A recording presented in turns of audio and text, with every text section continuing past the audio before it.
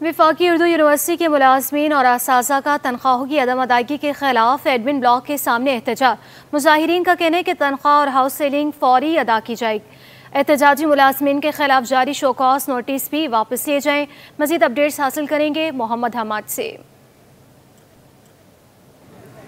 जी वफाकी उर्दू जामिया और अब्दुल्ला कैंपस और जो है गुलशन कैंपस के जो इस और मुलाजमीन हैं, वो अपनी जो है हाउस सेलिंग और तनख्वाह ना मिलने पर जो है वो सरापा एहतजाज हैं और इस वक्त जो है वो जामिया की जो एडमिन ब्लॉक के सामने मैं मौजूद हूँ, जहाँ पर ना सिर्फ़ मर्द इस मुलाजमीन जबकि ख़वान जो इस हैं, वो भी इनके साथ मौजूद हैं। एक बड़ी तादाद में जो है यहाँ पर जो है वो एहतजाज किया जा रहा है और अपने हक के लिए जो है वो नारे भी लगाए जा रहे हैं। छः माह की जो है वो हाउस सेलिंग, तीन माह की तनख्वाह और जो रिटायर्ड मुलाजमीन है, उनकी पेंशन जो है वो भी रोकी हुई है। हमारे साथ मौजूद हैं जनरल सेक्रेटरी हैं ये अंजुमन इस के, रोशन साहब हम उनसे बात करते हैं। रोशन साहब, हमने देखा कि पिछले दो माह से आप लोग एहतजाज कर रहे हैं, लेकिन आपको आपका हक नहीं दिया जा रहा।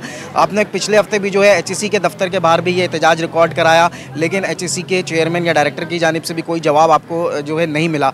तो कब तक इस तरह चलता रहेगा और आखिर क्या वजह है कि क्यों आप लोगों की तनख्वाह जो है वो नहीं रिलीज़ की जा रही?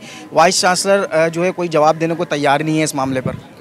देखें, बहुत शुक्रिया आपका कि आप लोग यहाँ पर आए और हमारे एहतजाज की कवरेज कर रहे हैं। देखें, बिल्कुल आपकी बात सही है कि हम एच के दफ्तर के बाहर भी गए, हमने वहाँ पर दरख्वास्त भी जमा कराई, लेकिन उसका अभी तक हमें कोई जवाब नहीं मिला। इस बात से ये ज़ाहिर होता है कि जो एच है, वो भी सरकारी जामियात के हवाले से कोई सीरियस रवैया नहीं रखती हैं। मतलब उनको इस बात से कोई सरोकार नहीं है कि आया कल को तलबा तालबात रोडों पे निकलेंगे, उनकी पढ़ाई का नुकसान हो रहा है, तालीम का नुकसान हो रही है, हो रहा है। और ना ही हमारे मिनिस्ट्रीज़ को और अरबाब अख्तियार को, या हमारे प्रेसिडेंट हाउस जो कि हमारी यूनिवर्सिटी के वाइस चांसलर हैं, उनको इस बात की परवाह है। तो लिहाजा देखें हम तो ज़ाहरी बात है अपने हकूक़ के लिए बात करते रहेंगे। जहाँ तक बात हमारे वाइस चांसलर की है, उनका रवैया भी हम, हमें गैर संजीदा नज़र आ रहा है। क्योंकि वो अक्सर अवकात इस वक्त क्योंकि जामिया में दाखिलों का टाइम है। ज़रूरत यह है कि वो वाइस चांसलर यहाँ बैठें और हम सबको मिला के कोशिश करें कि ज़्यादा से ज़्यादा दाखिले हों।